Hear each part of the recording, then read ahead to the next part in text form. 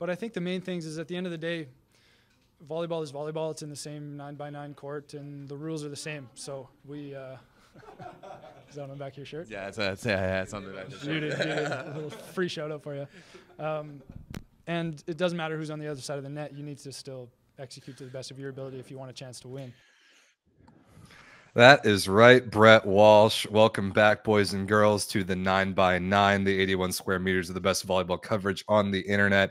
It is Monday, April 15th, 2024. This is episode 117. 117. My name is Rob St. Claire, live from Chicago. That is Everett Delorme, live from Toronto. Everett, the impossible has happened. Vero Volley Monza for one, they avenge their women's embarrassing performance in the semifinals, which we'll certainly get to. But their men, the Vero mm-hmm. Volley Monza men, reached the Italian Scudetto finals for the first time in their club's history. They were down two to nothing in the series against arguably the best team on planet Earth. And with their backs against the wall, they completed an all time comeback in the series and they won a fifth set in match five 17 15 to eliminate Trentino and to move on to take on Perugia in the final. This is insane. We have a lot to get to, but I know, Everett, that, that you have a lot of things to say given the fact that this team is comprised primarily of three Canadians. Everett Delorme, what would you like to say to the people about this Vero Volley Monza achievement? Oh wow, thank you, Rob. Um, I mean, I've been celebrating for any of those who uh, have been around the Discord and most notably on the I- Italy section, uh, you know I've been running my mouth a little bit, uh, and I think it's well deserved. Uh, let's be honest, for the first time ever in Canadian volleyball history, we have not only one but two players who have led a team to the finals of arguably the best league in the world. Um, this was unconscionable for me 10 years ago uh, before Canadians played regularly in the SuperLega. And this was unconscionable for me a week ago, right, Rob? When they won game number three in five, I still wasn't sure, right? I, I, I still, I didn't start believing until they won game number four, right? That was a, a dominant win, and it kind of put Trento in their places. I mean, that last set, you see it right there. Rob just put it up 25 11. It was dominant. And I mean, this team came into this match, dominated sets one and two. They were up 10 5 in the third. And I thought it was a three dong. I thought it was a three dong too. There was one play that made it 10 8 and it would have made it 11 7. It was a massive rally. Galassi made a block, played it off his foot. There was a back and forth, and Loeppky just missed it um, in that rally. And I thought that given the nature of the rally and the way they kept it alive, if Loeppky had killed it there, it would have been 11 7 in the third, down 2 0. They just stopped your run. Like it would have been emotionally over for me for, for Trentino. But Trento fought back nicely, but it was an incredible fifth set. Overall, for me, when I look at this, well, a lot of the shit talking I was doing in the Discord was due to the fact that Ran Takahashi was named MVP for this one. And I think if you watch this show at all, you'll understand that that was not a decision made based off of merit and, and performance. I'm not saying Ran had a terrible game. I said I think he had a, a, perfectly fine game. But when you look at the the the stats, and I mean, hell, if you even look at the eye test, Ray was not the MVP uh, of that match. Oh, not when even you look at when you look at the stats, it's even cool. It's it's not even closer. I mean, 19 points is, is still fantastic. He was 19 for 38, but he was only a plus five uh, in the match. Um, only had 17 serves, which is tied for the lowest in the team. Only got 13 targets uh, in serve receive. He passed well on those 13, but only, only got 13. No blocks, um, no no aces. Just kind of weird that they would go out and give Ran Takahashi. Well, obviously, um, we we know why that was actually done. Now, well, he, I mean, he, he got the match winning kill to his credit, and also yes. uh, obviously this is just volleyball world's absolute dream come true and I, am I'm, I'm watering that down from what I actually want to say. But um, we got to talk about this actual match because, like somebody yes. just pointed out in the chat, Peter, uh, Trentino is in very serious danger right here of assembling one of the very best teams of all time and winning zero trophies. Remember, they failed to win the Super Cup. They failed to win the Italian Cup. They were upset by this Monza team in the semifinals of that tournament and they have now failed to defend their Italian Scudetto title after being the one seed um, and dominating the regular season and being, in my opinion, which I still will stand by, being one of the best teams in all of volleyball this entire season.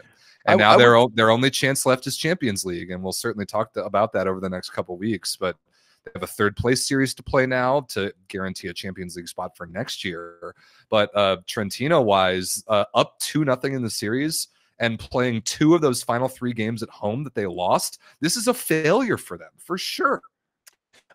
I, I would I would fully agree that this is a, fail, a failure for Trentino. I mean, uh, uh, Podrascanin and a few other of them of, of them did interviews on the stream kind of afterwards in, into the crowd and they were just talked about that they didn't level up their game after playing in Modena and then and that's exactly they kind of just like waffled in, in into the series I would push back on saying that this is one of the greatest teams of all times I think I, stats I don't think I wise said that this year. They were clearly this one of the best year- Okay, the world. so then, then I may have understood, uh, uh, misunderstood you. This year, absolutely, I, I think they have to be in the conversation. To me, they're still in the conversation of one of the, the, the top teams in the in the world, right? This this, this doesn't stop that. Um, you know, there's there's some conversations happening on like whether this upset is bigger than last year's upset Milano over Perugia, and personally, I don't think so. I don't think so Um, either. for for a few reasons. First and foremost, you don't have Sbertoli, right? And if Rob, you and I chatted a little bit yesterday. If Trentino has Sbertoli, this is a different series. It's a um, 3-0 one of- series. Trentino wins the series in three. I will die on that hill. Yeah. We'll never know. I We'll I, I think maybe four. I think that if you look at the way the goes, maybe uh, Mon wins that game three again. They make that switch up to, to put Loeppky on the right side. Obviously, we can talk we can talk about that real quick, but or, or in a, in a little bit. But I agree. This is this is Trentino's series to to to lose even more so if Sbertoli is setting for them. Right. The big key in this one was having the the the, the soft block touches for Monza. They were able to key in on Trentino's offense so much easier. When you look at Lavia and, and Michieletto's stats uh, from this final game, they're not that good. Michieletto 15 for 48, right? Just not terminal enough. just just not terminal. Same thing for for Lavia. Both of them are hitting at 31 and 32 percent respectively. That We're not even talking about efficiency right now. They had them shut down, and in like we're talking about a left side where you have a mismatch against Kachopa as well. Right, that that's a that's a massive mis- mismatch, and they weren't able to to take advantage of it. Loeppky had no negative block touches whatsoever in this match. He had seven no no block stuffs, but seven seven block touches, and Di Martino and Galassi were the same. They just slowed them down consistently and made digs. Digging was was the, the big things. Bringing in Loeppky so that you can be dynamic and, and, and be able to play that way was was just phenomenal uh, for me. Ultimately, like it just seemed that after 45 days of of playing with Acquarone, it finally caught up to Trentino. Nailed Right? it. It, it, Yeah. it, it finally caught up to Trentino that Acquarone wasn't Sbertoli, that he wasn't a, a top a, a top flight setter. And as soon as Monza made that change to bring in Loeppky to have him on the right side, and I have to say, I don't care what Volleyball World says, I don't care what the Weebs in the Discord said. You have to give the MVP of the series to either Mara Loeppky. Loeppky was the most offensively uh, gifted uh, player in this in this series. He had the most points. He had the highest efficiency for Monza. Mara was an absolute warrior. We saw the change that comes in. He comes back for game three. This thing's is blowed wide open. Yep. Over that time, over that time, Rob St. Claire, when you're looking at uh, the the the numbers and everyone's saying, "Oh, but Ran's a better passer than Moore. Ran's a better passer than this Moore." Not in this series. With more targets, Maar passed a two a two two point one five. ran past a one point nine six. And that's in with two less games. Ran played all five games in the series. Maar only played two, or Three. Maar only played three, right? So he's getting bombarded and he's passing better than Ran. For me, when you when you look at where that mismatch is, I look defensively. I look at Diggs. Ran is a P two. He needs to play defense and he, he needs to serve receive, right? Clearly they've they've marked that Maar is the better offensive threat, so they're gonna put pressure on him and think he's the worst passer. Okay, too. Obviously, he was up to the task, but defensively is where things really shine that Maar to me has to be the the MVP of this series. In three matches, Maar made 31 digs on 37 touched balls. He was averaging a dig percentage of 83.8%, which is gnarly. That's way higher than Gaggini. Gaggini was a master too. He dug 43 balls on 68. But you look at Ran's numbers in five matches, he dug 21 balls. He dug half of the number of balls that that Gaggini did in the same amount of, of matches. You're a P2. You need to be going out there and, and balling out. Like that that is your role. He makes one good one-handed dig and everyone blows up. And yet Maar goes out and gets 17 digs in this matches in this match compared to, to Ran three, and everyone's just being like, "Well, Ran's a better defensive player. That's why he's winning the MVP." All right. Um, I, so, but that that being that being said, I will I will say that this team doesn't win without Ran Takahashi. Hundred like, percent, yeah, of course. He, he he brings this team together. But I was just so sick and tired of watching people in the Discord being like, "Oh, Ran's the MVP," or watching volleyball. This this post that you posted here was posted after congratulating Ran to go going to the finals. That was the priority for, for, for volleyball world, and even Japanese fans were in the chat of, or in the, the comments being like, "Yo, this is a little much." And it was a little much, and it always is a little much when it comes to volleyball world and Japanese players. All right. I, I, have some takes as well because this is uh, this is a series and a, and a result that needs to be talked about a lot. Um, you nailed it in saying that at the end of the day, Acquarone, who did not play badly, mm-hmm. but Acquarone is just not a top level setter. Uh, the the the level of the, the level of block touch that Monza was able to get. They only stuff blocked seven balls in a five set match in game five, which isn't very much, but they slowed down so many balls, and you can see it from Lavia and Michieletto's kill percentages, just not even close to terminal enough.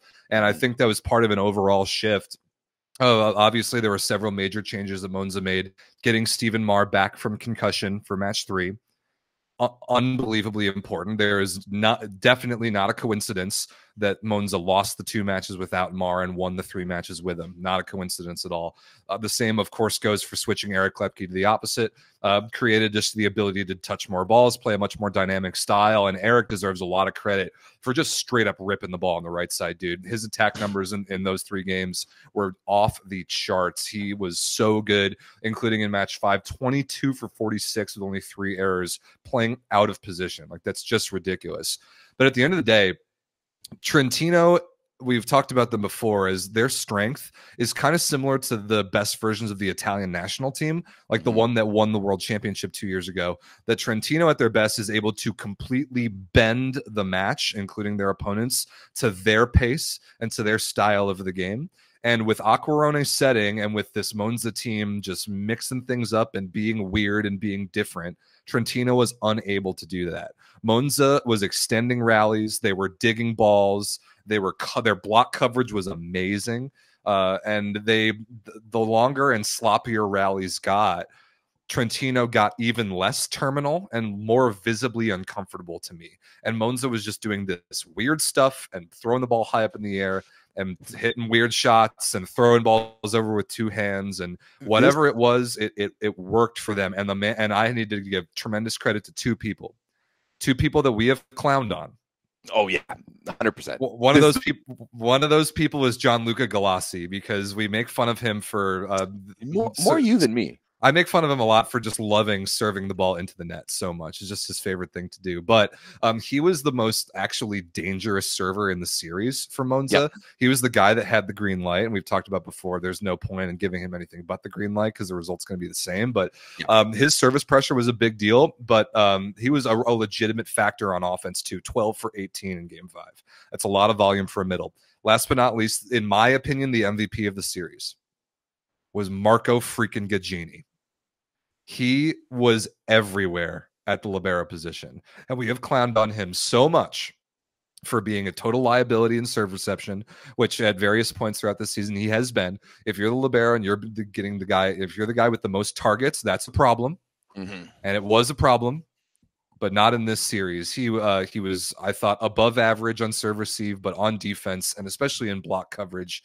he was un unbelievable. The balls that he kept off the floor somehow, some way. Uh, Mon- there's no way Monza wins this series without Marco Gaggini on defense, and we have to give credit where it's due. Gaggini leveled up for sure. He he leveled up. He outplayed Laurenzano both on the eye test and, and the numbers prove it too. He passed better than, than Laurenzano. Um, sorry, excuse me. Um, and he does better than Laurenzano. His defense is incredible. Uh, some of the best we've ever seen.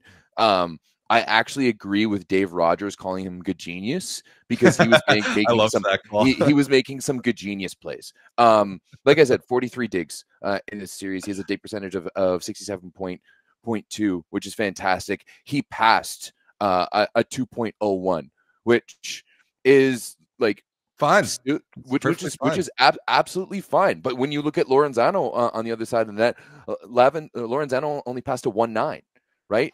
And Laurenzano, when you look at defensively, Laurenzano only made 34 digs, right? So Gaggini was absolutely massive all all match long, and you saw it too in the celebrations. Ran makes the kill. Maar goes to him, picks him up, gives him a hug, and they immediately go to stand over Gaggini and to start start shaking him. Like you can tell that it was it was so important that someone I forget who it was uh, in Discord made the comparison of to like goalkeeper in soccer where Oh, for will, sure. do, will, For will, will be so solid for so long, but they'll make one or two stupid, maybe like unfocused mistakes and it's just kind of like oh man and i absolutely relate to that because i was 100% that that goalie in soccer like i'd make a whole, a whole bunch of good plays and then let in a questionable one and my like confidence would go down and people would start chirping and you know it, it, would- it would go bad but he stepped up. I i, I think that this was truly rob you said it uh, a little bit earlier about how monza was just throwing some weird stuff at them. This to me was old school volleyball versus new school volleyball in the the old school in terms of trentino like they play like the right way but they don't play much of like like like that tip and roll and that throw and that push and that two hand volley over.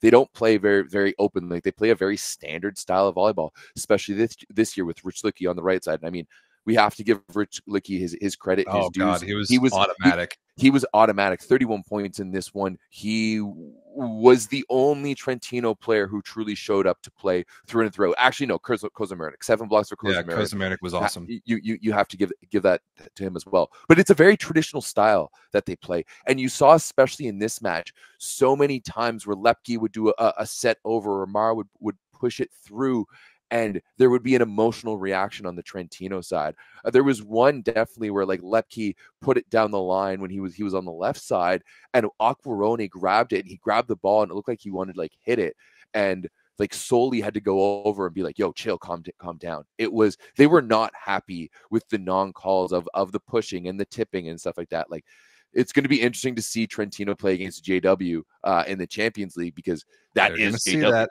that- They're gonna see that. They're, they're, they're, and going to see that, and they were were getting frustrated. So to me, it was like Trentino just never really changed up their game all, all that no, much. they didn't. And- I, I definitely think that that Soli got out coached. Uh, now, again, the limitation was that they were playing this whole thing with their backup setter. We saw Riccardo Sbertoli. He was able to play a little bit in Game Five. He only played the back row. Uh, what I assume is going on there is that he's not able to block because yeah, no, the, his that- hand was still his Yeah. hand was still heav- heavily taped.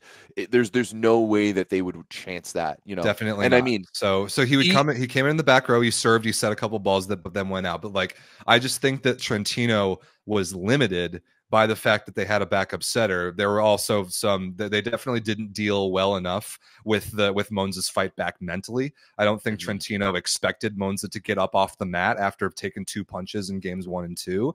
I think Trentino kind of expected Monza just to lie down and die in front of them. The, the very much the way Modena did in the quarterfinal series, but that's not what happened at all. And I think Monza deserves tremendous credit for that. We got to talk about though about the consequences of this, and there are a few. One is Everett, really quickly. Do you think that Monza stands a chance against Perugia in the final? I mean, we didn't think they stood a chance against Trentino in the semis, right? Um, and maybe that was a little bit si- silly, given that Trentino was uh, Monza was one of the few teams to actually beat Trento this year. Like True. they beat them in, in in the Super Cup, and like we we've kind of seen this before. Um, I don't see why not. Mo- Monza is is is riding a wave right now. Um, and actually, like on on that note, I was was messaging with Maar uh, after the game yesterday, and he he said something that was like really poignant, and I think kind of encapsulates the the the vibe of this Monza team right now. He's like, honestly, is it's it's beautiful volleyball. Probably more happy about that than winning. I love seeing my friends made, and I love what we have made. Or sorry, I love seeing my friends win, and I love what we have made. Right. So you can awesome. tell that, that there was some type of internal conversation and, and meeting within Monza and, and all and you're, you're even seeing it on social with the way that they're, they're posting and, and stuff like that too like Monza is a fun team and they're riding those those good waves right now right they were down 0-2 to the best team argue argue the best team in the world right before the series we would have called, called them the best team in the world and not only do they come back and win it? But they do it by like completely switching it up, like throwing Loeppky on the right side, completely like Szwarc was their top scorer. Like he still is their top scorer on the season. He still scored more more points than, than anyone else. And it's not something that they haven't done this season, but they were able to to change it up completely. And that just kind of shows that mindset that this Monza team is in right now. Um, but It's a it's a magical run. Here's the thing. it is. But yeah. They have no chance against Perugia. Oh come on. None. You can't you can't say they have no chance now after what I, just done. I I will say that, and it's it's a bummer because this uh, I had such a good time watching Monza complete that comeback. It, it was it was beautiful to watch a team come together in that way, and that was like the what they built and what, what like exactly what Maar said, and he and he was at the absolute anchor of it all. That none of that happens without Stephen Maar, both uh, the the on court ability, but also like the emotional galvanization of that team. None of that happens without Stephen Maar. The problem against Perugia is that it's a horrendous matchup. It is such a bad matchup for Peru for Monza. Perugia is a much better blocking team, I think, even than Trentino is. Uh, Perugia is a terrifying blocking team. Perugia is the scariest serving team, I would say, on planet Earth. That is not a, a strength of Monza's, is fighting off servers like that.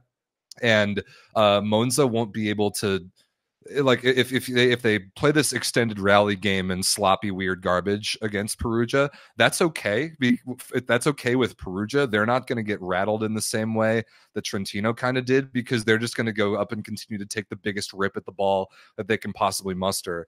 And that level of firepower and ability, seven players in and out, I, I don't particularly like the matchup for Monza. Uh, the the other problem is Monza now has guaranteed themselves a spot in the CEV Champions League for next year, and I I hate talking about tran mid transfers before the season's over. I think that it's the dumbest thing in sports. I hate that it happens in volleyball, but unfortunately, we have to talk about it now. Mm-hmm. With Well, Stephen first- with Stephen Maar's listen, with Stephen Maar's saying that it was such a beautiful thing that they put together, and they it's such such such a magical run. This entire team is breaking apart. Is this going to be a good representation of Italy in the Champions League next year? I would argue no, not at all. Yeah, I I, I want to touch on your on your first point first because I think at, at this point it's ridiculous to say that Monza has no chance. We th- did you think did you think Milano had a chance against Perugia Last year, no. this year? Oh, this, this- year, no, and they didn't. I said But- I said no, absolutely not, and they lost. in- We don't even need to talk about we- match four. It was just a formality. Oh no, yeah, no, that that we're not we're we're, we're not even we're not even touching it. But no. we did we did discuss early on in, in these series there was a point when after games one where it was like if perugia goes up two nothing it's still a toss up whereas the trentino goes up two nothing it won't be and i mean that we that's wrong what about both. yeah we were we were absolutely wrong about both but i think that like i think that this is going to be a good series. I fully agree with you that this is a matchup but like monza eh, monza has has surprised us already this season a, a few times and they have that belief and they also have different looks. I don't think we've seen the last of szwarc right? I i I think i think we're going to see him come back come, come back again and it, it, it it's it's going to be a bit of a battle. Yes it's it's definitely going to be an uphill battle for sure but like you can't you can't deny the magic of Monza. But But definitely not. the- I'm not denying it. However, like think about think about the matchup that they just played with Alessandro Acquarone setting. Now they're going to get Simone Giannelli. Yeah, I, I fully agree that the matchup isn't there, but like it's not hey, good. I Hey, and I, they- I I hope that Monza does continue to pull it off because it has been magical and I love magic like this in volleyball.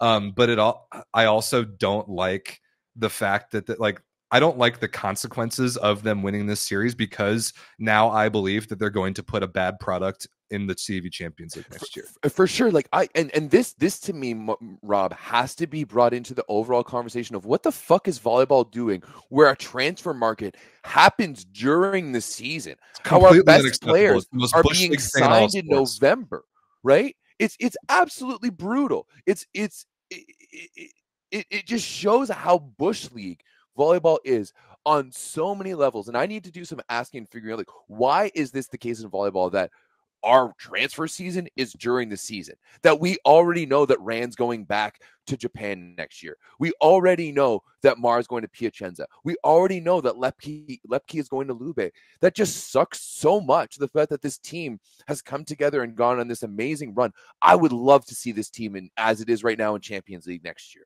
right? As it is This right team- now, 100%. as as as it is right now. Just take it, copy, move it on to a two-year contract. Sure, I would absolutely love to see that, but we're not going to get that. We're not going to get that because volleyball sucks. Volleyball sucks, and our transfer season starts in November. It's crazy.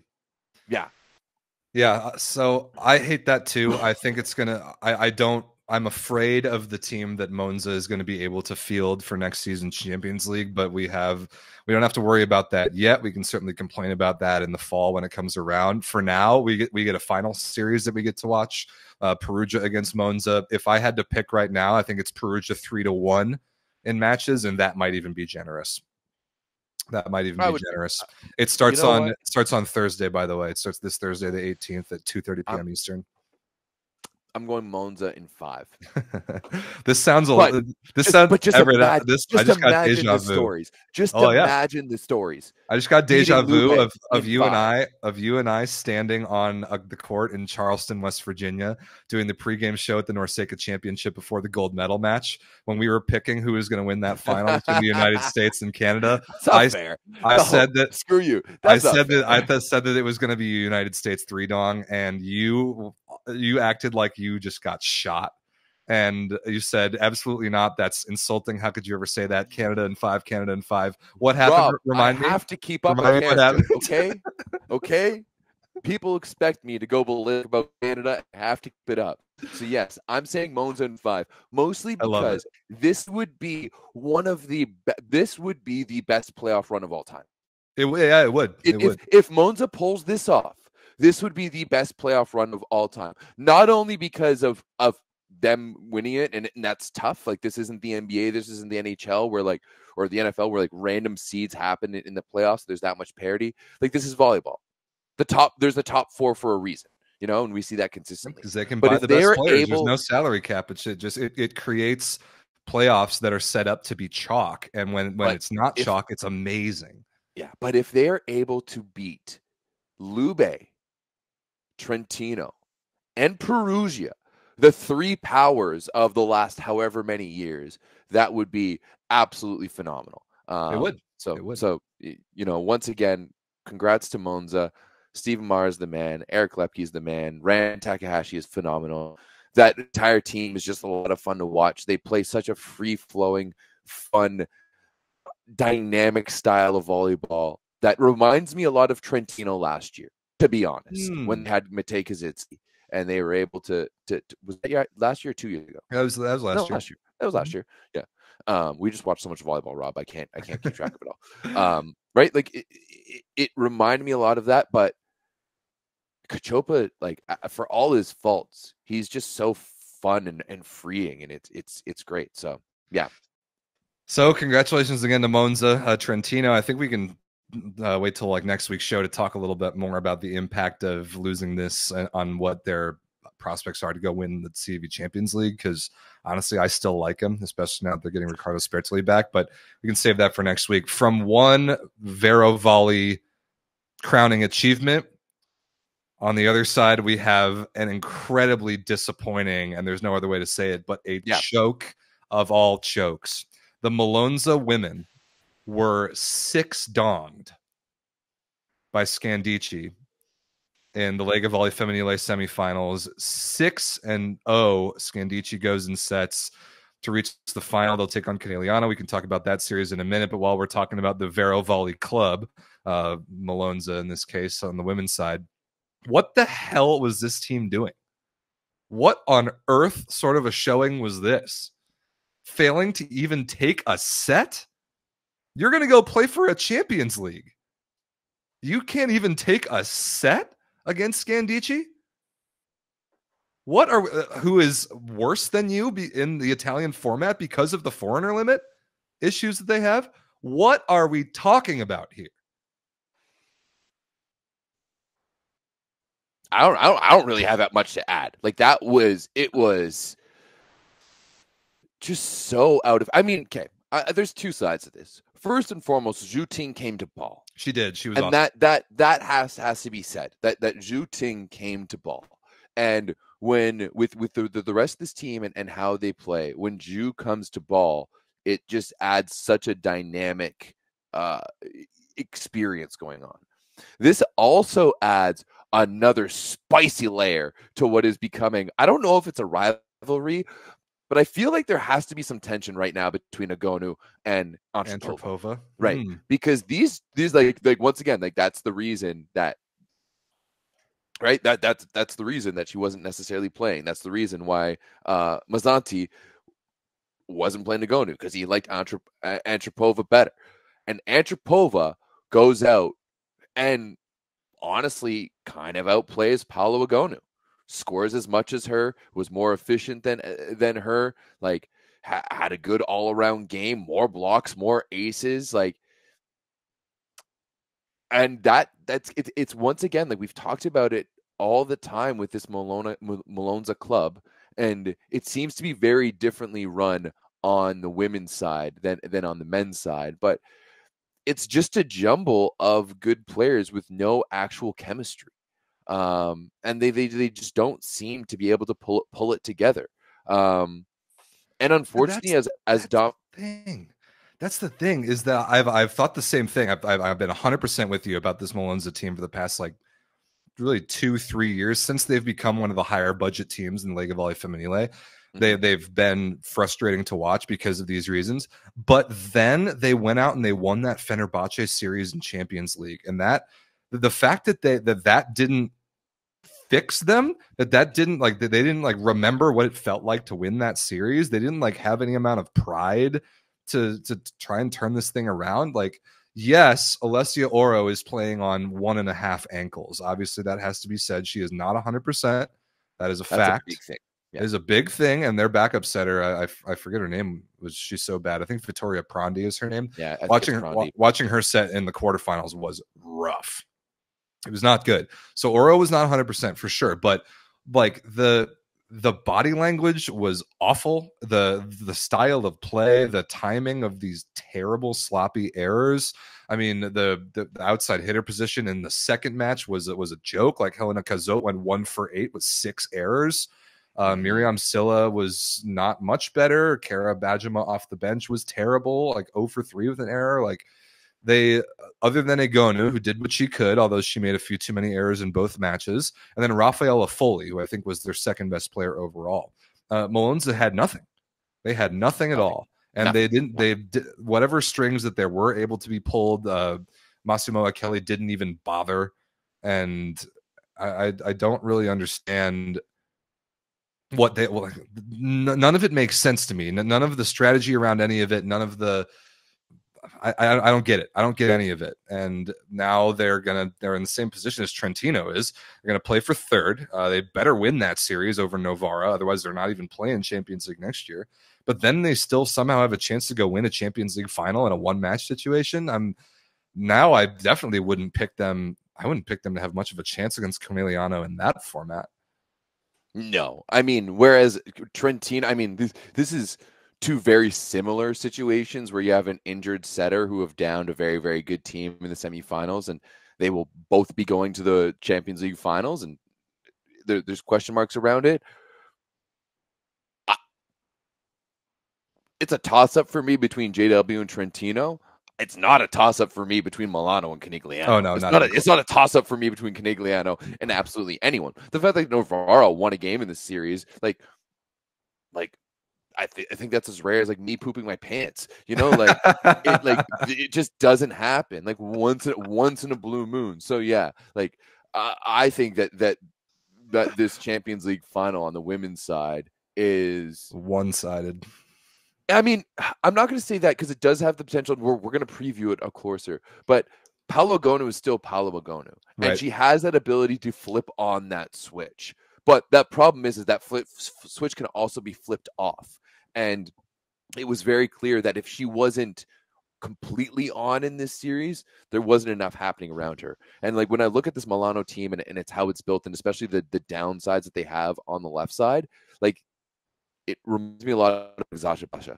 Uh, Mm. with and and watching them where you have so much pressure on Boskovic to do so much, and it doesn't matter. Like sometimes they get a good Alexa Gray match, sometimes they get a good Connie Baladan match, sometimes you get a, a good Vrankova match. It's the same thing with this uh, Milano team. Sometimes you get a Mar- good Myriam Sylla, sometimes you get a good Ka- Kara Bajema, sometimes you get a good uh, Helena Cazaute. Um, one big thing though about this team in Champions League versus like the League of Volley Femminile, of course, is the the foreigner rule, right? Because ideally you have Myriam Sylla coming off the bench, right? They won't In do my, that, I what? but I agree. I know they you. don't. I know they don't, right? But ideally you would have um uh Bajema and and Cazaute start. Well, uh, after their last performances, I don't even know what you do at that position. Uh, I made two mistakes I need to correct. One, I said Eccheli, he coaches the Moans of men. My fault. I'm talking about Gaspari. He coaches the women. He's clueless. And then also, somebody in the chat says that uh, they don't play a third place series in the League of Volley Femminile. Just goes to Monza, who's the higher, the Malonza, who's the higher seeded team from the regular season, which I love. I think that's fantastic. Great. Like, I think third place series are meaningless and I love that. So good for the of Volley Femminile. I'm, I'm a big fan of that format. Um, Ah. w- I like it. I, we do have to I- I- talk about the fact that that Conegliano did lose a match. You mentioned it. Uh, there was it was notable because although they went down 2-0, looked terrible, brought it back to the fifth against Novara, they did end up losing. That was the first match Conegliano has lost this season in Mhm. any format, in any tournament, in any place. The first match they've lost this season. and and that's why it doesn't worry me. Right. It doesn't worry me at all. And that's why I think it's a good thing. because right? everybody on the planet knew that they were going to three dong Novara in match three, and they did. Yep. everyone knew that they were going to respond from that, and they did. Absolutely. I mean, Marina Markova in game two, though, 26 points, Yeah, 22 she was really good. with a block and three aces. It just continues that, that like, what does Russia look like right now? It's so, like, they're so far removed from international play, but like, how, like, it, it, it just, it just goes on uh, so, so much further. Um, I didn't, I, I- Conegliano, by the way, Conegliano hit fifty eight percent kills as a team in the in the in the third match. Even- absolute joke. Uh, Ella, Isabelle Haak eighteen for twenty seven. oh, so predictable that they were going to dominate that third game. Very very predictable. Any, sorry. Yeah. Anyway. um, I, I lost my, my train of thought, to be honest. I, I, I don't So, really know what I was uh, talking about much. I was finally we get we finally get a best of five series in the final which is cool because last year Conegliano was similarly untouchable but Malonza last year gave him a hell of a series He did. They did. and um Everett do you think that Scandicci can do the same No, I agree I would love for them to do the same, and I and I will be watching the series as much as I can. Now that I'm employed again, uh, watching volleyball becomes a lot harder. Um, but you know what? If if if like all of Scandicci needs to show up, right? All and and that's that's going to be the the big thing. Like Herbots wasn't really present that much in game number uh in game number two uh uh, for them like i think she only had like six or six or, or something points You know, it, it, it, it, it wasn't all that all that much um but Scandicci is going to need to be able to do two things and and that's exert massive amounts of pressure on Conegliano and number two and that's weather the storm from Conegliano right and because Conegliano is just nonstop um Who's who's coaching Scandicci again? Is it still uh, Barbolini right Barbolini? he's shipping off to League One in the states next season I yeah just don't. that There's just no one who's able to run with uh, Santarelli um, no chance Santarelli right now. no it's not chance not even not even close. So yeah, like maybe. I, I,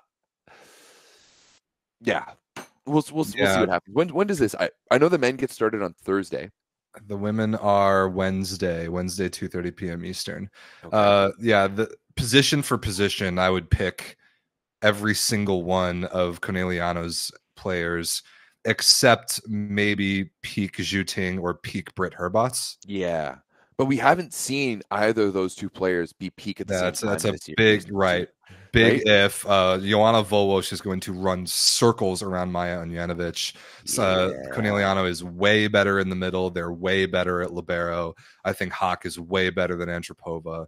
And uh, Robinson and Plummer have a nice, a good like yin yang different style thing going, and they're both playing with a lot of confidence and executing at a high level.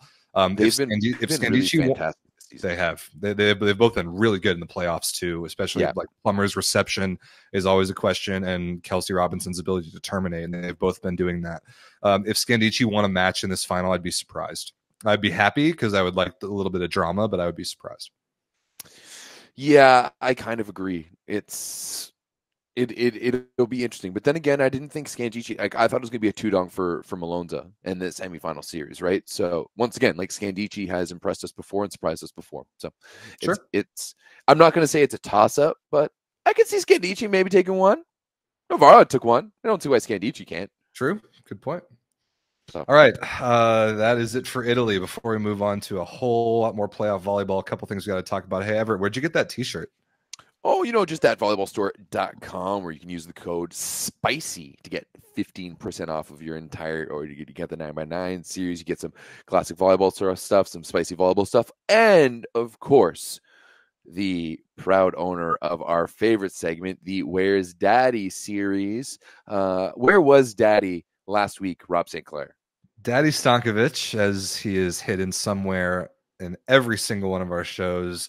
Last week, he found his way onto a new team, as he very much likes to do. He was celebrating Monza's game three win, and somebody in the Discord, I think it was our Italian friend Legia Drolo, uh, was like, I was, he was like, oh, I was looking through that Monza team photo and wondering why Arthur Szwarc wasn't in there, and then I realized it's Daddy. You see him up there at the top of the screen ne- next to super duper bald Galassi. There he is.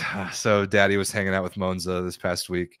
Uh, yeah, Daddy's hidden somewhere in every episode. Make sure you keep an eye out for him, and when you find him, you wait until the show's over, until after the live stream is over, and then you comment the timestamp of where Daddy is in the main YouTube comment section. Donde está el papá? I was laughing at that too. That's awesome from Matt Buffum. Donde está el papá? El Padre? Where's Yeah. Daddy in Espanol? Um, yeah, Yeah, Daddy's Padre would be better than Papa. eh? Daddy's somewhere. Make sure you find him and uh, wait till the end of the show and comment in the main YouTube comment section. Timestamp of where he is, and uh, you'll get a shout out next week. Speaking of a shout out, let's see who's the first one to find him. Brody Cox last week said, "Daddy keeping Monza alive at 34 minutes," and uh, Anthony Lee said Szwarc did so badly that he got replaced by Daddy. Uh oh. Both great. I will. I, I will point out that Sch- in game number two, that Szwarc was statistically Szwarc's worst game. Um, he still had a better efficiency than Ran Takahashi. Ooh, spicy. All right, let's move on uh, because we need to talk about the Plus Liga. Uh, they have been full speed ahead with the Plus Liga playoffs. I think, yeah, we, we missed both matches. We didn't miss, but we, uh, we haven't covered any of the playoffs yet because on last week's show, we were just saying that the playoff field was set. It was a two match home and away series with golden set potential. Uh, Everett, you and I both picked chalk, and chalk is exactly what happened. Uh, JSW will take on Resovia. Zawiercie will take on Warszawa in the semis, but it wasn't without its drama. There was No, a little bit of spiciness in these Polish quarterfinals. Rob, I I will be completely honest. I did not watch any of these Polish quarterfinals. and They were on at times when I was not around, and I can't watch them back on demand, and I can't watch them on Volleymetrics. However, when I saw that Lublin was up three nothing on like like first they were up two nothing and then leading in the third on Warszawa, I was like, "What's going on?" And so uh, originally, because I was just watching on on sports or Flash Score, it just said like Lublin four three on Dude, aggregate. I and saw the same thing. and didn't show that there was a golden set going on. Yeah. So I was was Friday? It was Saturday or Um, I don't Friday remember. or Sunday? No, it was Sunday. Yeah, it was Sunday. Yeah, It it, was, was, it, was, it was Sunday. so I was. I was I was on my way to coaching or at coaching, can't really remember. And and I, I was watching it. There was for a a split second before I was able to open the Discord that I thought that Lublin had gone through over Warsaw because of a three dong and because that the, the tiebreaker was sets one and versus lost. Like Yeah, I knew it was a golden set, but it, yeah, I was looking at the same thing. I, a golden set didn't show up until like I had to like dig and find it. It was probably while the golden set was still going on. But yeah, um, sure enough, the Plus Liga switches their playoff format, and in the first possible chance, you get a golden set, and Warsaw survives somehow. And uh, although they got three dong by Luke Lublin, uh, they did win the golden set 15 to 12. So uh, Warsaw moves through. Uh, man, I kind of feel bad for Lublin because they were playing awesome. Like, let's see, what were the splits? 20, 22, and 19. Like they controlled the the actual portion of the match. But then, uh, yeah, in the golden set, let me see what what what happened in the actual golden set. Um, man, not a whole lot of high. Man, not a lot of high scoring. Maybe it was just a lot of No. Lublin errors. yeah, Yeah. some Lub- Lublin errors and and from what I saw, Warsaw just kind of spread out the uh the uh, the offense. Yeah, looks like it.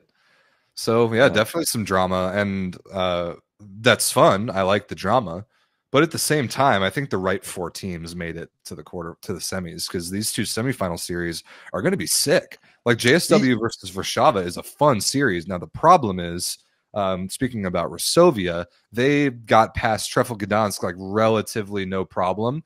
Um, But- they- but But big there's, but a big, there's a big but. There's a There big is. but coming. and that is the like fact mine. that Stephen Boyer, their starting opposite, is out for the season. Youch. I think yeah, that that was- is I think that this was an injury that he suffered in practice. I'm not sure. Maybe it was in the first leg, but like in the second leg, he didn't even play. Or no, it, it, it must have been the first leg because I'm looking at it. The the first leg, Resovia one and five. Uh, Boye started the first two sets and then had to go to the bench. Somebody let us know in the chat what. Uh, oh, maybe Luke said maybe ankle roll. That that would definitely track. I'm, but, um, I'm seeing the chat they're saying that he will not be back. Yeah, that's what I've heard as well. I think I think the club even posted about that, saying that um, uh, maybe it was just a little bit of a brash reaction to one of their starters going down. But Resovia on Instagram kind of went on a bit of a rant from their club's Instagram account, saying we knew this would be a problem at the beginning of the season. We played way too many games. There's way too much wear and tear on the athletes. Uh, we we alerted the federation that this was going to be a problem. Nobody said anything, and now one of our best players got hurt. I understand their concerns because it is way too much volleyball. It is way too much wear and tear on the athletes, but I also think it's a, a little bit reactive. Yeah. However, they're still going to go to the semifinal with a half decent chance because a heroic, heroic effort off the bench by their backup opposite, Jakub Bucki, doing something that I've almost never seen before 11 aces in one match. 11 aces and only one service error. Bucki is, 11 aces in four sets to Bucki's bury old. Gdansk. Butski is 36. Wow. He's an 88. 11 aces in one match for one player? That's gross. Resovia's gross. ace to error ratio as a team was 18 aces to 19 errors. That is, how is that? How is that not clipped out? How have I not seen that on socials? How come someone in the Discord? Discord. posted all 11 aces back to back. Yeah. that, that has to be done. And uh, 34 service attempts, like double the, the next highest player on his team. So serving serving attempts is, in my opinion, actually an important important good stat. Very much so. Right. If you have a lot of serving attempts, that means you're going back and putting on a lot of pressure. I would love, like back when I was like coaching and stuff like that. Like I would always, when especially at the, like you know your college level, we'd be statting how well the other team passed on our serves. Like I'd love to see that kind of stats as well. Um, volleymetrics is good, but it's not it's not that good. Um, but yeah, eleven aces is absolutely filthy. Amazing. Like that that is gross. Like if someone goes back there, he was 11 aces, 34 attempts. That is crazy. I'm like trying to wrap my head around that to be perfectly honest. I don't think I've ever seen a stat line like that. I don't think I've ever Ever. seen double digit aces.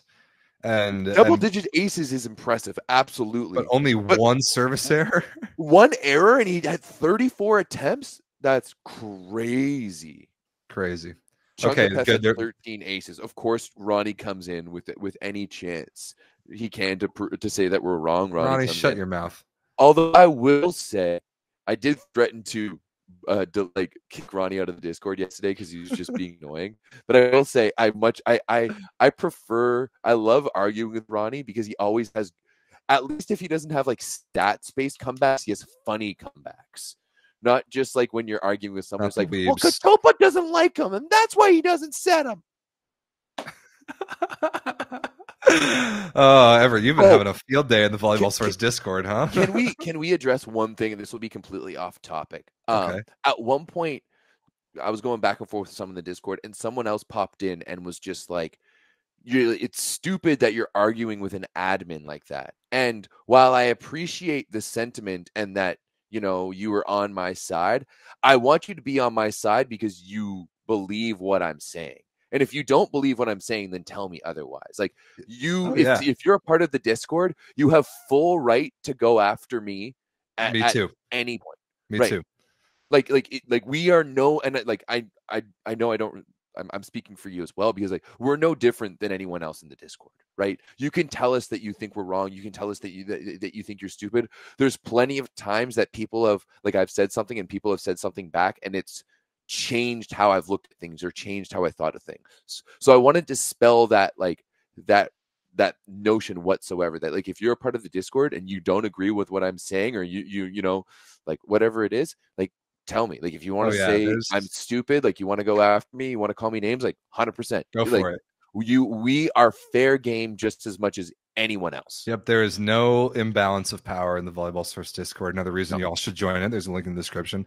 Um, yeah, come at me as well if you think I'm an idiot. Go for it. Unless uh, unless you want to come at me about one topic that none of you know any anything about.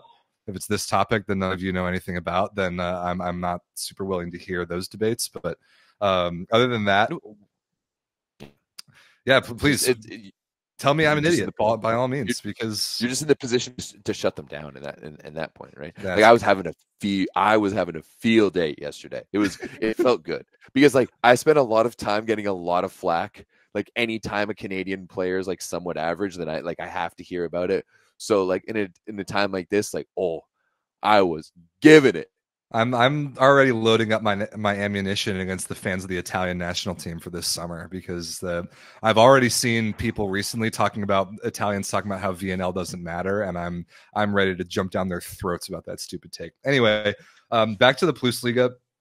These two series weren't very dramatic. JSW No. took care of Olsztyn 2-0. Uh, whatever. Zawiercie did take care of Stal Nysa, but I do give Stal Nysa a lot of credit for fighting pretty hard. They went up 2-0 in leg two um, before Zawiercie put together a reverse sweep. Now, after they after they took two sets, it was over. So the fifth set was meaningless. Uh, but credit to Nysa for putting some effort in there. However, I, if they had won this series, I would have quit everything related to volleyball because it would have made me watch more of Maciej Muzaj and his stupid haircut. Oh my god, it is so bad. Not only do I hate him as a player, his hair might be the worst thing I've ever seen. So thanks for participating. Good luck in the placement playoffs. Uh, I'm very excited about these semifinals. I think both of these series are going to be awesome, and I wish that they were longer. I wish they were longer than just two games. That's I I I fully because especially with what we've been seeing in the Superlega, where we get to like sink our teeth into a series, and you have that adjustment and that change and that back and forth. Now, I I understand why they're doing it for the because they've played way too many regular Because- season games. but this is this is this is already fixed, right? Like they're they're already they've already made the changes in the future, and like we just have to wait for it to to, to be there. So that's why I think that like Resovia whining about the fact that like yeah, boy, you got injured. Like maybe you should have played Bucki some more throughout the season. You know, like like like whatever. Like it's every, everyone has to deal with it. Um, but yeah, you think you you see Zaksa the whole season complaining about about injuries? So you think you see them like trying to complain up to the the league office about how long the season is when all their starters got hurt and missed games? Like, Yeah. get out of here. No, um, exactly. So, so Uh, well- the, the semis do start on Wednesday. Uh, they're at decent times on Wednesday, and then leg two is on both on Saturday. So this time next week on next week's show, we will know the finalists in the Bundesliga. which is too fast. It is too it's fast. Too, it's too fucking fast, right? Like it, it blinked and the quarterfinals were done. Um, It's one of my it's one of my few faults with the Plusliga. Um, so when when do we is Schroeder Saturday Uh, so Sunday? it's Wednesday. The, the the first legs are Wednesday. The second legs are Saturday. Way off, way off. Just read the date some- there, homie. anyway, Well, I, uh, I you don't even know what day today is. Okay, I like Xavier. It's a good thing it's on the bottom of the screen. I like Zawiercie and JSW. Uh, I've liked Zawiercie all season. I'm sticking with it. I think that team's really good. Uh, JSW. I do, I do like JSW over Resovia without Boye. That is Yeah. a bummer. hundred percent. Unless Um, Kuba Bucki decides to serve 11 more aces and somehow That could if Butski can throw down eleven aces and eleven kills again, like sick. What a if he performance. can if he can serve thirty four times in a match, like yeah, that's like- nuts. he served for almost half the match. That's crazy. Right? Yeah, uh, Peter in the chat. Make sure you put in the Discord that video, the Polsat video of all eleven aces. I want to go see that because Yeah, yeah, I, I remember I remember Leon the match he had in the bubble in Rimini and VNL when he had thirteen against Serbia, and uh, But he had and- five errors, yeah. yeah, he had more errors, and it, it, I mean, it was a random VNL game that didn't matter all that much. This was a playoff game, like with eleven aces with the season on the line. Amazing. Uh, all right, anything else about the Plusliga? No, just stoked to stoked to watch um, the semifinals on Wednesday. Should Me be good. too. Let's talk about Turkey. It is the dead middle of the finals in both the men's and women's finals in Turkey. Uh, best of five series on both sides. Earlier today, we had match number three between Fenerbahce and Eczacıbaşı, which has been a very good series. Fenerbahce won the first leg at home three to one. Eczacıbaşı stole the second leg at home three to two. But today uh, was a pretty convincing three dong by Fenerbahce. Pretty was convincing. Dominant. It was dominant. convincing. Uh, my MVP had to be Eda Erdem. Absolutely. was- without she was question. fan- she was fantastic. 19 for a middle and three sets. 19, That's yeah. outrageous. Thir- 13 for 18 two blocks and, and and two aces um it- this one was was was good I actually uh was able i was off work today and i was able to watch this one uh uh while while having some lunch it was it wasn't i wasn't going to say it was it was a good match it was a dominant It was one-sided. for Yep. for for Fenerbahce um it really seemed like they were just feeding Eda like it. they really wanted to put her on a pedestal. I mean, of course, Vargas was really good too. She was 18 for 28, um, with a with a block and an ace uh, as well. On the other side, Boskovic, once again, like like just like I said, like Boskovic was pretty good, like 15 for 35, uh, not outstanding numbers. She scored 17, but then they just can't figure it out on the left side. Hande Baladin was their best one on the left side. She passed 33% po- or 33% positive, 7% perfect, which Dude, is look great. at Zachabash's passing numbers as a team. oh 11% positive 30 se- or perfect 37% uh positive. Gross. that is that is just it is Ever, just and I'm sorry to say this, oh yeah Alexa Gray needs to spend the rest of the season on the bench. well i mean Get- she get was kind of here. the reason they won the last game Get her ready for right na- like that, get her ready for national team season. I can't watch her pass anymore. I can't do it. it's, can't it's watch weird because anymore. she like sometimes she's good like sometimes she's solid and then other times she's just not there um which like thankfully we don't really see on the canadian national team all that much with her but it's like been a consistent thing um especially in the in the past two seasons. But like like she was basically the reason that they won game number game number two. Um she came in off the bench and scored 17 for them. Past decent.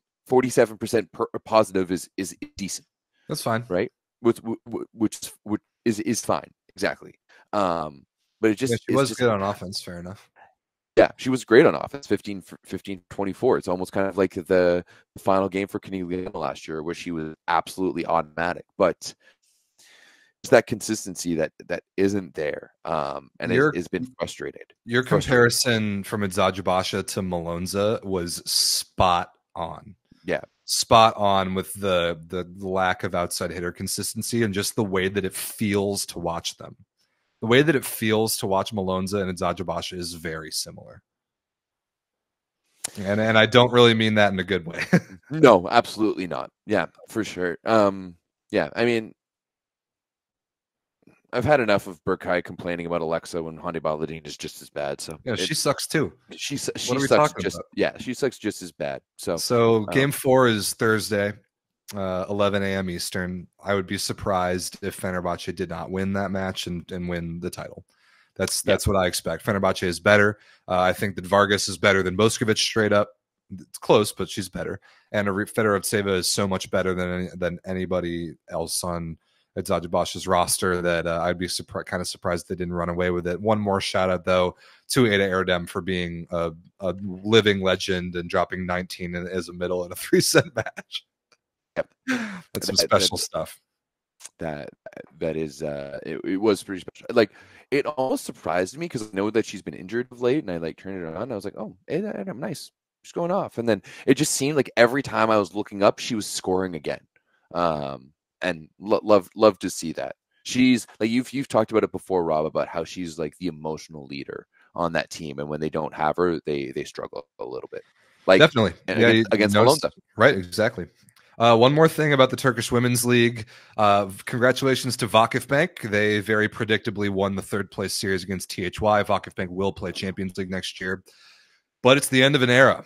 It is the end of Gabi Guimarães time playing outside hitter for Vakif Bank. She's been there for five years, has won at least two Champions Leagues, has won every trophy there is to win in Turkey and the World Club Championship. And her career there has been all time great. She really has had a phenomenal five seasons. This year didn't go their way because of their roster construction, like we've talked about a lot. But uh, I wanted to pay tremendous respects to Gabi's career at Vakif Bank. She's one of their all time best players and uh, is still my pick for best outside hitter in the world. So she posted like a long, pretty emotional thing on Instagram saying goodbye to the club. And it was just cool to see. It was cool to see a player have that level of impact for one club over a long time and win a bunch of tournaments. And uh, I just have a huge amount of respect for her. So congrats to Gabi and good luck on uh, wherever she goes next. We know where she goes next, but uh, we can leave that for next season. Where's she going? Just tell me. She's going to Conegliano, dude. Oh yes, I knew I knew that, and it's going to be Kiera Van Ryk time at Vakif Bank, so that that's going to be interesting. Be I mean, upgrade, but still will be uh, difficult for them to break through past third where they Yeah. are right now.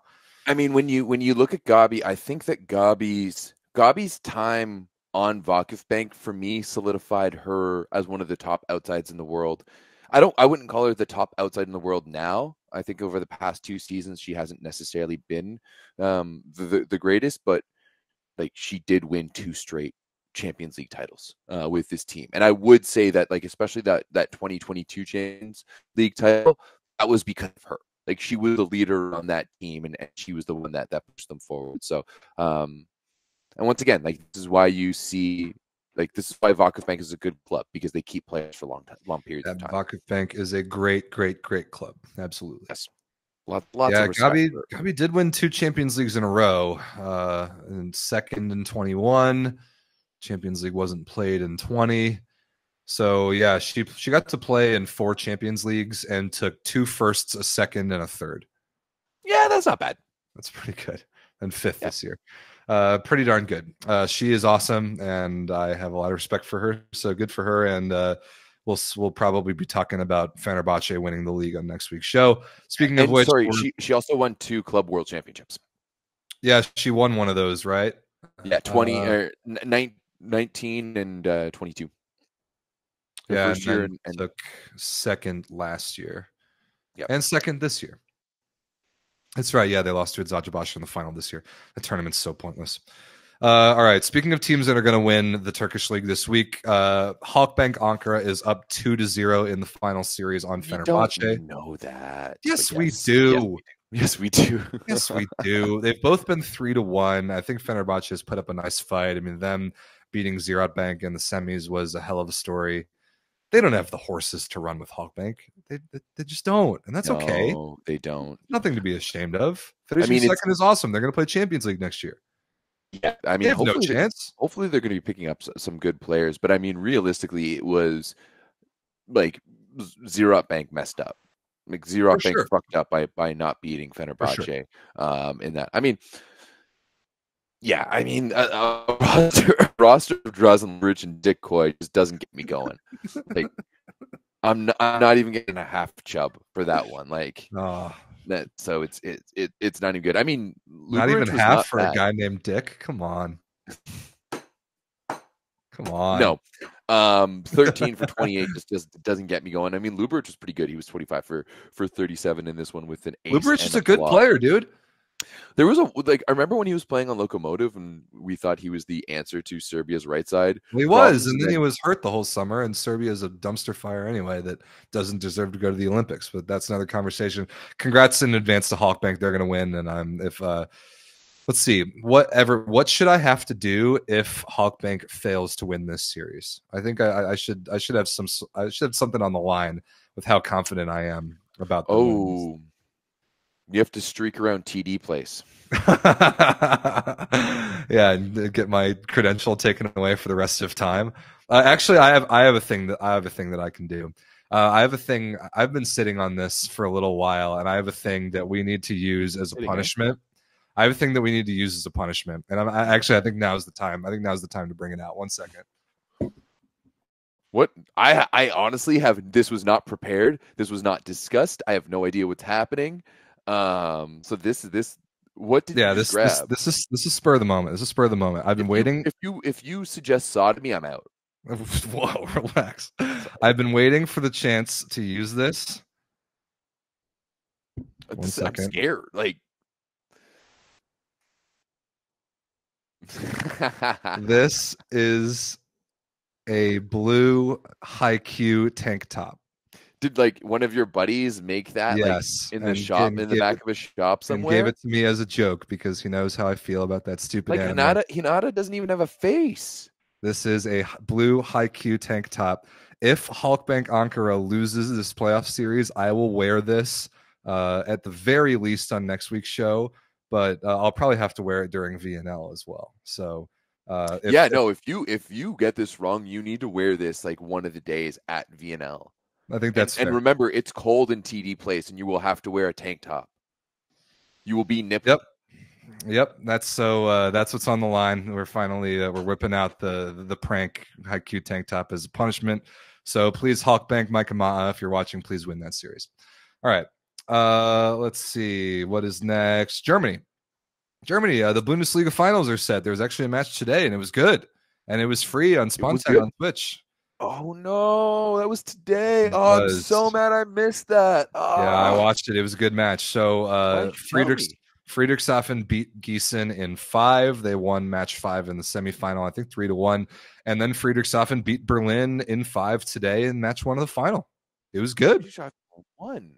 I'm just They did. the stats right now. Friedrichshafen won it in five. Twenty-five and, uh, points for Michael Superlak. What? Yeah, Superlak is a baller. Masso had 15. Um, oh, I'm not going to hear the end of it from. Yeah, from look at Ronnie. look at Ronnie Q and Spike. He's already ripping in the chat. Now I will I will have to give Massa credit. If you haven't seen this guy yet, just how physically freaky. I've only is, seen him bounce balls for. I haven't really watched That's him for you but need I've, to see. I've watched him bounce balls for Cuba in warm-ups. Yeah, there there were a couple in game. Friedrichshafen, by the way, I give their team a lot of credit. Their social media presence is very good. If you don't follow Friedrichshafen's club on Instagram, you should. They do a super good job, and they've posted some in-game bounces from Masso that are like terrifying in a good way. So he's Love super that. physical. There's no way he'll make the Olympic roster behind like Simone, Alonso, and Concepcion, but uh, he's a nice prospect in the middle for Cuba. But yeah, Michal Superlak was the guy for Friedrichshafen today and uh, this was a good series and i enjoyed watching it and it's a bummer that um, unless i want to pay for the subscription i probably won't watch the rest It's gonna be behind a paywall. yeah it's a shame that's a shame It's a shame. You gotta hate it. And another paywall that you want to watch is the French League. it is the french league i, I forgot to pull up the latest uh, the latest bracket in the french league but uh, they are on to the semis um, Tourcoing beat toulouse in the fifth match to get there then promptly lost the first match of the semis to saint nazaire so saint nazaire the seven seed is one match away from the final which is very impressive. Also, a good example of how stupid that playoff format is. Going from best of five Yeah, in the quarters to best of three I- in the semis is insane. I, I would agree with that, but I also think it's an indication of just how even the French league is. Um, like it, it, there's just so much parity uh, across that league. So, but I, I agree. Also, San Jose is a balling team. They're good, man. Kyle Ensing, Jordan Ewert, that uh, Spencer Helder guy, or Helder Helden Spencer, Quinn Isaacson, Jordan Schnitzer. You gotta love it. Uh, Carts have stood up to 23 for Tourcoing uh, uh, in this match. Uh, Ensing with 17, Ewert with 14, Schnitzer with nine. Um, so that's a big win there by um, Saint Nazaire. And uh, on the other side, in the 1 4 series, which honestly may as well be the final Chaumont versus Tours, Tours stole the first one 15 12 in the fifth. So uh, Chaumont now needs to win two matches in a row uh, in the revenge game from last year's final. And here's something that confuses me. How exactly did Luciano Palonsky, who we love on this channel, he's a buddy, how did he end up playing back for Tours just in time to win them this match in because the the, fr- the French league has that rule. Remember, remember when like a couple years ago when they they did the back when uh, Sclater and Demianenko were playing for Montpellier and they dominated all year, and then Chaumont had like Melgarejo and and Herrera and Yant. I'm pretty sure, maybe not Yant, but definitely Melgarejo and Herrera, and uh and they brought in uh what's his face, beautiful hair. Lanza. Lanza. Yeah, they they brought in Lanza to beat uh, uh, to beat them. Oh no, they and they also had Stephen Marshall on that team. That, that, that's what I that's what remember that team. That's But yeah, like what are we do? The what French are we league- doing allowing a transfer before the semifinals of the playoffs? Well, they they have they have a rule where that like if you have a starting player who gets injured in the playoffs, you can go get a rent a player. That's so like Emily Emily Maglio, crazy. Emily Maglio got signed by Paris Saint Cloud, Paris Saint Cloud for the playoffs coming in from Besiktas in in the Tur- Turkish league. So yeah, like the, the French league just has that, and I mean for for Palonsky, that's just the perfect situation. He's played there the past Hey, two played seasons. there last year. You're just going back to going back to the homies, and That you know, rule just- sucks. it- that rule I agree. sucks. It it is a terrible, awful, It- horrendous it for is- competitive balance. It's completely unfair. Yeah. Absolutely. And we love Right. Palonsky; he's the homie. But I've, I've I, uh, if Chaumont doesn't win this series, it is it's kind of bullshit. Yeah, I would fully agree. I mean, Palonsky was all right in this one, or actually, he was pretty damn good. Uh, There's no for- way Torres wins that match 20. without Palonsky. There's no way they win that match without Yeah. because they lost. Uh, what's his his face up? Pot- Uh, Potron. Potron, the young kid who's really good. Yeah, yeah. So yeah, that's it, it's wild. Like I hate that rule. Be less bush league volleyball. Figure it out. Yeah. God, can't stand it. What do you What do you guys think in the chat? What What is What does the chat think? Yeah, is I mean these people these people are European. They they they are used to dumb rules in sports and allowing people to do stuff like this. We in real sports in North America, this is like not even thinkable. Same with like transfers midseason, not even thinkable. Um, all right. We do trades. Well, yeah, we. I I mean, like talking about building next year's roster in the middle of the current season is Yeah. complete is completely insane. All right. Uh, last but not least, we need to talk about the men's NCAA, Everett, and uh, we don't cover that this month. We don't don't cover the men's NCAA that much on this show. Yeah. Um, we, we we we like to cover the playoffs. we do. That's Same with same with you sports. Same with U Sports. We treat it the exact same. And uh, it's time. It is time for the the men's NCAA playoffs because it is conference tournament week. Uh, this time next week, we will know the the field for the men's NCAA tournament, and uh, it's and you got the MIVA conference bracket up right here. But um, what we got to talk about first is that there's a new format for the men's NCAA tournament this year. It is eight Ooh. teams. Ooh. Finally, It should it should be more. We can discuss that in a second, especially with Conference Carolinas and the. SEAC just getting just yeah. Yeah, the Conference Carolinas and the SEAC getting auto bids when there will only be two at-large teams is a little bit insane. So that it does sound like there's uh, there's progress in moving the men's NCAA tournament to 12 teams, which Mhm. would be great, and I think would be a perfect number. But uh, in the meantime, we've got four, or well, really, we've got six conference tournaments this week that will award auto bids. Only four of them really matter because the Conference Carolinas and the SEAC, uh, unfortunately for those teams, they will not be relevant at the NCAA tournament level. I do I do have to say though, Rob, I think it's extremely important for for the growth of men's volleyball in the NCAA for those conferences to get the bids Agreed. right now. Right. Like it's it, it it needs to be it needs to be a carrot for conferences to be willing to come into men's volleyball to be like, hey, guess what? You're going to get an automatic bid to the national championships, right? Because that, that I- I doesn't, agree with doesn't that. always happen, right? It's it's it is a necessary evil. It does suck, but just as you said, it just proves the necessity that this needs to be a longer tournament that's actually paid attention to and actually respected a little bit. Uh, yeah that, that's that's exactly the point. Like whoever wins the SEAC this will be the first year ever that that conference gets a bid and that's awesome. Like the fact Yeah. that, that that conference will be represented at the ncaa level, level is a good thing. However the team just won't be competitive whereas there will be at least two very good teams from the west coast that will be left out of this tournament and that's where i have the issue. It's not that like those teams don't those conferences don't deserve representation. I just don't like them getting bids over teams that actually have a chance to win it and so we'll talk about that in a second. But the, the MIVA here um, in the Midwestern part of the United States, they're only going to get one team in the tournament, and that's going to be the team that wins the conference tournament because it's been kind of a bloodbath this year. There isn't a team that really can quite punch up there with the big boys in the West. So uh, Ball State versus Lindenwood and Ohio State versus Loyola, that's the semis. Whoever wins, honestly, it's a coin flip. I have no idea. You don't think, but like Loyola beat Hawaii earlier this year, and I know like they, they split that series, but you don't think that they even have a, have a bit of a shot? Loyola has one really good player in Parker Van Buren. He's a big superstar opposite. He played for the USA B team last summer up in Okay. Edmonton, I think. Yeah, yeah. I, I think Um, I, I vaguely remember. Is he yeah, a big big, tall, blonde kid. Yeah, yeah. He's yeah. really good. He's really physical. He was the MIVA player of the year, but uh, he's basically Loyola's entire team. And but so is Jacob Pastor for Ohio State. So like those two going against each other will be fun. Ball like State that is story. me too. He Ball has- State is the best team. Ball State is the best Okay. team of these four, but whichever one wins, I don't really like their chances at the NCAA level. I predict whoever wins the MIVA will probably get like the sixth seed at NCAA. This year. Uh, they were the sixth seed in the MIVA tournament, and they lost to Ohio State. They weren't super good. Oh wow, weird. So yeah, someone's going to win the MIVA. That per, that team will get a bid, and nobody else will. Same similar story with the EIVA. Um, this is absolutely Penn State's conference to lose this year. George Mason is good, uh, but Penn State did go undefeated in conference. They went a perfect ten and zero. So if if anybody other than Penn State won this conference tournament, it would be an upset. Yeah, I mean it's it's normal for Penn State and Pav to win the EVA, and I know he doesn't like it when I call it the EVA, but Kevin Barnett taught me uh, otherwise, so I'm gonna call it call it the EVA.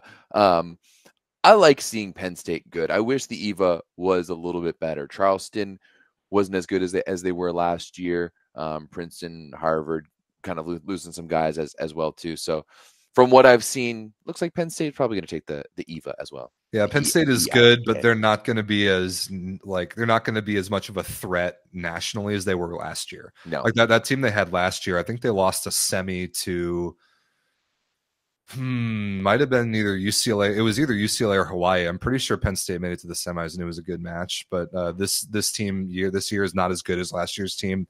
Lost Cole Bogner, they lost Brett Wildman, um, they lost Cal Fisher, they just lost a bunch of dudes. Uh, Toby Ezeonu is one of my favorite middles in the country, but um, he, he's lo- who else did they lose? they they lost to Hawaii in five last year. That's it. That was it. I remember that. That was a great semi. Uh, but yeah, this is probably Penn State's conference to lose. Uh, we're not going to talk about the Conference Carolinas or the SEAC, but where it gets interesting is out on the West Coast. There are two conferences out on the West Coast. There's the Big West, where you see the tournament field here. There's also the MPSF. Now, there are six very good teams that are split between these two conferences that I believe are the top six teams in the country in no particular order. That's Long Beach State, Hawaii, UC Irvine, UCLA, Grand Canyon, and BYU. Just because of the way the NCAA tournament is set up, whoever wins the Big West and the MPSF tournament is going to get an auto bid. Then there will only be Mhm. two at large spots left for, and some two of those six teams that I just said will take those spots. There will be at least two very, very good teams that do not make the NCAA tournament.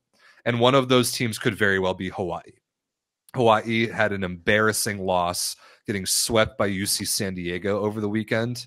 Uh, I think they've dropped down to fifth in the AVCA rankings. Hawaii's best chance They're- at this point is They're eighth in the NCAA rankings. eighth. Ouch. Eighth. I'm looking at them right now. Yeah. Wow. Uh, so Hawaii's best chance at this point is to win the Big West tournament. However, they get to do that at home. So uh, Hawaii is hosting the Big West tournament. If they beat Santa Barbara, Irvine, and then probably Long Beach, uh, they w- uh, they would definitely earn the spot. But uh, if, they if, if they lose to Irvine in the semis, it's, Over. it's done. It's, Yeah, it's if they if they don't make the final, like you're right, they have to.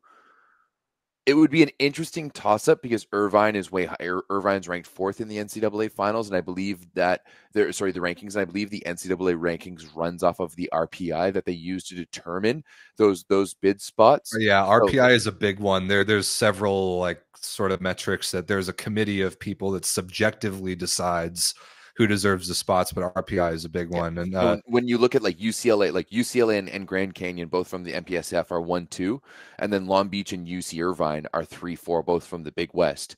You'd assume that if those four te- if those two teams like or four teams meet each other in the their respective conference tournaments, that whoever loses is just going to get this. is, is just going to get in. Yeah. Yeah. So like both BYU and Hawaii, I think in, at five and six right now in no particular order, they need to win their conference tournaments uh, to to get into NCAA's, and that's a bummer for Hawaii because they were number one in the country at some point this year. The problem was that they lost the poten- their potential national player of the year outside hitter Spyros Chakas to a knee injury, and when he went out, they they about a month ago they just haven't quite been the same. So they're gonna definitely gonna have to pull some magic at home uh, in the Big West tournament. Irvine is very good. Uh, Irvine's cool because they have.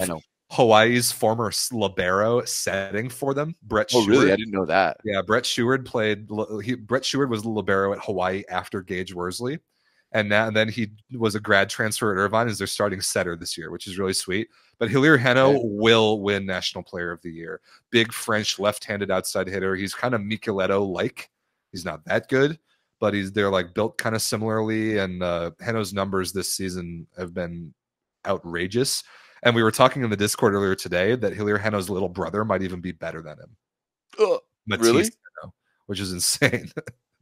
Yeah. So keep an eye out for that. Uh, and but Long Beach State is number one in the country right now. I'm not sure that they should be. I think Oh. on the I- on the eye test, I'm not quite as impressed by them. They do have uh, my, Were my you more impressed than by the eye test? Like what what team looks like it's the best team for you? Uh, maybe UCLA, and the UCLA is the number one in the country according to the coaches poll this week. But they have but they have their own issues, which we'll talk about in a second. Long Beach is good. They have four good wings they can use. They have Simon Torwie, who might be the best middle in the country. Uh, Mason Briggs might be the best libero in the country. She probably is.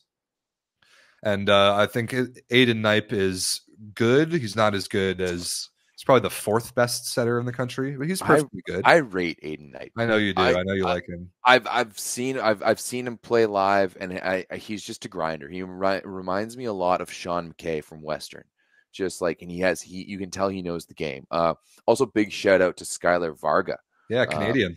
Canadian, who's been holding it down on the right side. It's funny because like his backup, I'm pretty sure is Daniil Herstanovich, who's a, another Canadian who's a first year uh, over there over there as well. So I'm I'm personally pulling for Long Beach. You know, we got that that Canadian connection.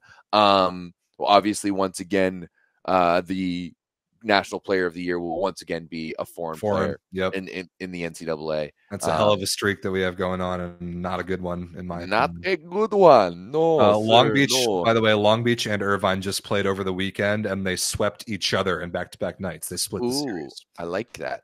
I like that spiciness. Me too. And uh, so on the MPSF side, our last conference we got to talk about uh, UCLA is the one seed, um, and Grand Canyon is the other team in this conference that deserves an at-large bid to NCAA's, in my opinion. They're really good.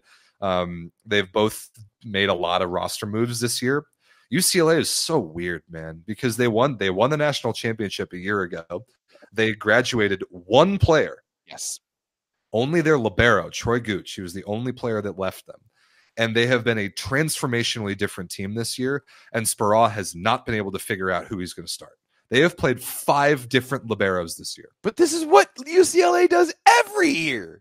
It's just a rotating door, a revolving door of just people coming in and coming through, and it's just it, it- it's always the case with Speraw's UCLA teams. It's always the case. Hell, even last year they won with like that, like who's Norris the third, whatever, playing in They the middle. Norris. Yeah, they, they they they subbed in a third middle in the national championship game and he played great. Yeah, so they've played they've played like four outsides this year. They've played two opposites. Like they're Um, they're they're they have two Israeli kids, Ido David on the right side and Guy Genis in the middle, and both of them won national championships last year, and both of them have been benched at this point. And they had uh, Alex Knight, who last year was the MVP of the NCAA tournament at outside hitter, and he's been relegated to the reception only libero this year because this kid on your screen, Cooper Robinson, is so good, and Ethan Champlin, in my opinion, is the best American player in the NCAA. Probably even better than Andrew Rowan, who's their setter, who's amazing. So, uh, yeah, UCLA is good. It seems like they may have just finally figured out what lineup they're going to play. We'll see if they can win the conference tournament. Grand Canyon is good too. Uh, they were number one in the country at, at, a point this year, and they deserve a spot. So, what's what's the vibe with Grand Canyon, Rob? Because uh, and so just just a little preface as why I'm asking this question is because I've just been seeing some comments, and there was also a, a little out of system video where they're doing stereotypes of all of the players around the country, and the stereotype of the Arizona players, hence the the GCU players, was that you know they very physical but just didn't necessarily have the skill to play with the California guys. Is is that the case? You could argue that. Uh, I, I, definitely think Grand Canyon. Are, are, they like a legitimate national title contender? No, I wouldn't say so. Uh, are they? Do they deserve to go to the NCAA tournament? Absolutely. Uh, I mean, they're twenty-one and four. Two, I think, three of their losses on the season are to UCLA. So, like the, or no, I guess it would only be. They got crushed by UCLA in LA about two weeks ago in two matches. I can't remember who their other two losses are to, but uh, yeah, they they lost they in those two matches. Oh, they lost, yeah. They, they, they got a three dunk and then they and then they lost in five to UCLA. Yeah, earlier in the year, I, I, remember now. Grand Canyon got to number one in the country. Then they traveled to Hawaii, lost to Hawaii, and lost to Irvine. So they've yeah, only they lost to good teams. But like those are the teams that you have to beat in a national championship situation. And I'm not sure that GCU can. Um, they moved Camden Gianni back from the right side to the left side where he started his career. So he's moved back and forth a time or two. And GCU has a setter named Nick Slight that I love. He's really good. I think he's the second best setter in the country behind Andrew Rowan. So Nick Slight is very, very good, and uh, he can. He's the sort of setter that can will a team to winning something like the MPSF tournament. But I think they they definitely do lack the ball control and defensive ability to win a national title. But I still think they deserve an at-large spot if it comes to it. Okay, wow, dude, Gianni had a heart attack last year. He did he did wild? Yeah, it was it was it was. I remember that it was a scary situation. He's come back from it, hundred percent, which is great to see. Also, uh, Concordia Irvine is quite bad, zero oh and eleven in conference, and uh, just a funny typo that I just noticed: Pepper Fine. ah, Pepper Fine. Pepperdine, by the way, is not doing Pepper Fine lately because they just lost to an NAIA team like two weeks ago. So that's not good. Oh, that's not good. There's that's a couple of Canadians good. on Pepperdine, including Cole Ketrzynski. Yeah, Cole's there as a grad transfer.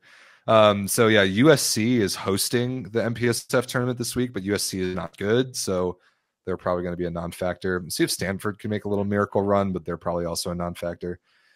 Uh, so yeah, that's it. Uh, selection Sunday is this Sunday. I think there's a sort of selection show going down uh, on the NCAA's website where they will unveil the tournament, and I think it's a good time to tell the people uh, a cool piece of news that uh, I get to go to Long Beach State for the NCAA tournament, and I will be on the mic calling the games for all four quarterfinals and both semifinals. It's it's kind of wild that they're getting you to do all of that work and then they're just like handing the finals off to Barnett and Sunderland. To Barnett I mean, like I get it. It's Barnett and Sunderland. They are the best. Are you allowed to like? Are like? Because I'm assuming that they're like paying for you to go down. Do you get to stay for the finals? I haven't decided yet. Uh, one reason, which is that the men's NCAA championship game is, I think it's on Saturday afternoon, May fourth. Mm. You, you know, it's the next day after that. What's that? The Champions League final. Uh, but both Champions League finals are that Sunday, and I might have uh, some obligations for that that we'll tell you guys about later, which could be pretty fun. But uh, yeah, I would like to stay for the final and maybe fly home right afterwards. We'll see. But at the very least, I get to call some men's NCAA, and I'm excited about that. And I'm excited to you talk to take a red eye for that. The, the the the game is at like 2 p.m. Pacific, so it's not even that bad. If if I wanted to fly back that night, we'll see if I can pull it off. But okay. uh, yeah, I am. Ex- I'm excited about that. I've I've been. Um, if any of you know my commentary background. I've looked up to Paul Sunderland for my whole life, and I'm excited. Oh, to- really? You Yeah. just call the game exactly like him. yeah, it's because he's the best. He, I'm, I'm a little less of a curmudgeon old man than he is at this point in his He's career. such a curmudgeon.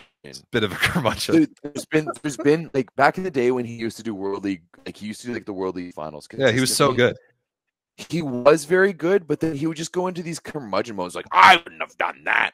That's not what I would have done. That's just a terrible decision. I'm just like, you have no idea about like what their plans or what their schemes are, what their decisions are, are, are doing. I I can't remember exactly what it was, but he was just harping on one thing, and I was like, it's clear they're not playing that game plan, but he is still one of the best. And I, I like as much as you are a Paul Sunderland guy, I'm a Kevin Barnett guy. I know you are. Barney is the man.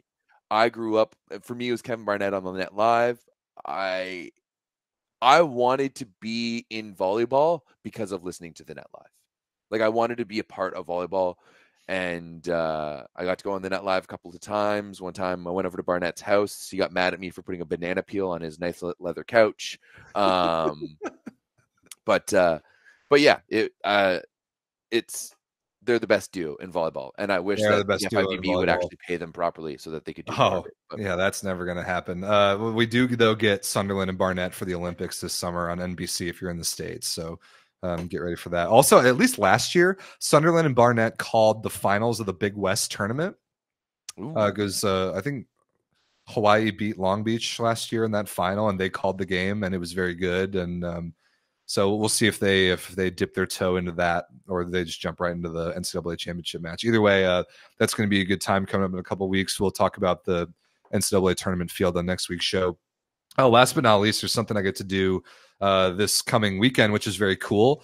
And that's that I get to go and do a lot of the broadcasting for the NCVF National Championship. This is the National Collegiate Volleyball Federation. This is this the, the entity that governs American University Club volleyball, which is it's the like, level. It's, it's like yeah. D five for those ones. it's the level that I played at uh, when I went when I played at Purdue, and uh, we'll be in Kansas City for nationals, uh, uh, which is where actually two of my five nationals were when I was playing. The only thing that I can describe, the only way I can describe this to you, Everett, is that the finals are it the it the same vibe as Wapaka. See, like I, I think it would Same be electric. I, think it would be electric to go. It's it's the it's the best atmosphere I've ever seen in volleyball. uh, yeah, ever. for sure.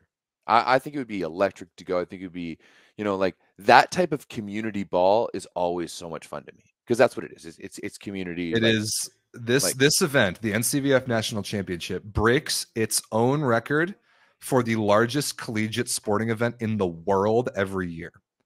Every year it gets bigger, and every year it breaks its own world record.